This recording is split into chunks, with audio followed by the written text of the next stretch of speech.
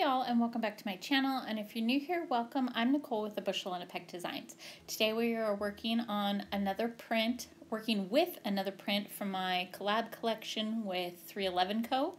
I am starting with a 20 ounce straight tumbler from the Tumbler Supply Store. I sanded it, prepped it, and spray painted it gold. When that was dry, I am going to give it a really thin coat of epoxy. I just used the rest of the epoxy that I had in a cup from epoxying some other tumblers. And then I am taking these two gold glitters. This one is 24 karat gold from AB Designs Co. And then I'm just giving it a real light dusting. It is a chunky glitter and it's a metallic, more bright colored gold, I'd say. And I just gave it a little dusting and then I did open the bigger spout so that I could get some bigger areas. I don't want to give this a full coverage. I just want it to be a more sporadic coverage. Then I am taking this lighter gold, more of a champagne gold. It is from my Dump Glitter collection as well. And I'm just going to give that a full coverage. It is also I'd say more of like a mini chunky. It's got some chunks in there, but not quite as big as the bright gold. And I love that it has some little tiny stars in it. So I'm just going to give that a full coverage and then roll it on some scrapbook paper to help lay all those chunkies down. But I this is the look I was going for. I wanted that contrast with the holographic large chunkies and then the mixture of the lighter, more muted gold. And then I gave that two coats of epoxy and then I gave it a really good sand. And then we are working with this fourth, fourth of July, a grungy stars pattern from my collection, as I mentioned. And on my Silhouette Studio software, when I measured it, I measured the circumference and it was nine and a half inches after I gave it those coats of epoxy.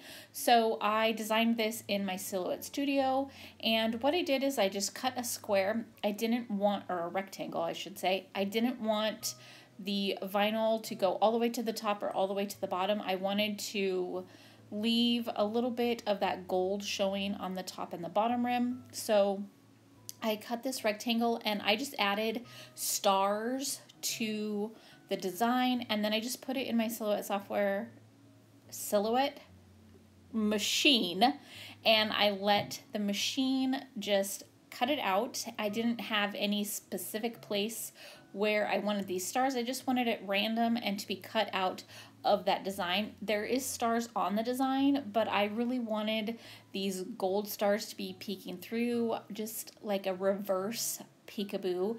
Normally we add a shape and then spray paint it and then peel up those peekaboos, but I just did a little different. I mean, I'm not the one that came up with this idea. Of course, I've seen it before, but I just really wanted this vinyl on there with the gold stars peeking through. Once I peeled up all of those stars, I'm going to just apply it like I normally do with the hinge method. So I cut a little bit off of the backing and then I wrapped it around to make sure that I had it lined up straight and then I just applied it like the hinge method just very carefully not to catch any of those open spaces I wanted to make sure it all laid down nice and flat so I went really slow just used my fingers to lay it down as the backing pushed off of the vinyl.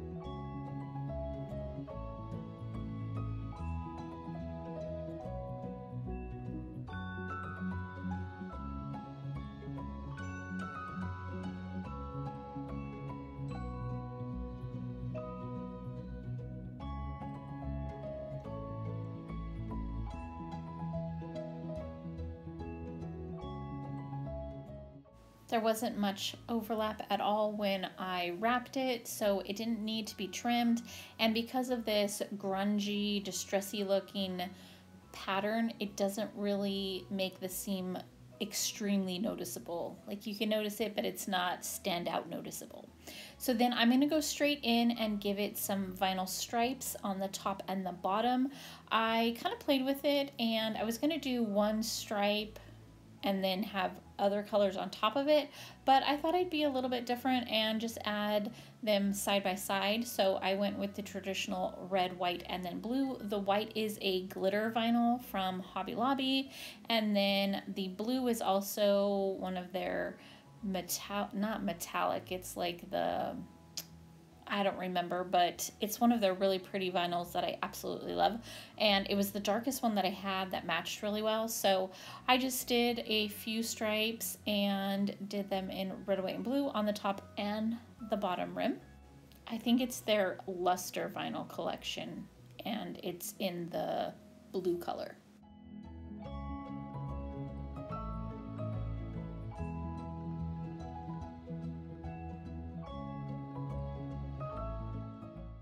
When I created the stars on the vinyl, I also created an offset for each of them as well. I only picked three sizes. I did a really large one, a medium, and a small to try to help. Sometimes I go crazy and have all kinds of different sizes, but I wanted to help me be able to know which outline went on which one. So it was easier to control with just having a few sizes. So I created the offset for all of these and I cut that out of a textured gold vinyl. I wanted it to just bring in that element from the glitter to tie it all in together. So even before I am adding any epoxy, I am adding all of these outlines. And for the ones that go down on the bottom, I just added them and then trimmed them off where the vinyl ends. And I'm going to add all of those outlines and then basically this is done. I gave it two final coats of epoxy and this beauty was stunning. I I know it's so rare for me lately to not add words or a saying or something, but I felt like this one just really stood out for itself. I loved the stars in the gold against the red, white, and blue of the grungy distress look with the little white stars already on that final pattern. So I love the way it came out, and that is it. I hope that I have inspired you in one way or another. And as usual, I will leave all of the information where to find me and all the products that I used down in the description box. And if you haven't joined my regular Facebook Bushel and a Peck Crafters community group, please do so. We're having a monthly challenge over there. You can win a prize, so it's a lot of fun. And I will be back tomorrow with another tutorial. Bye, y'all.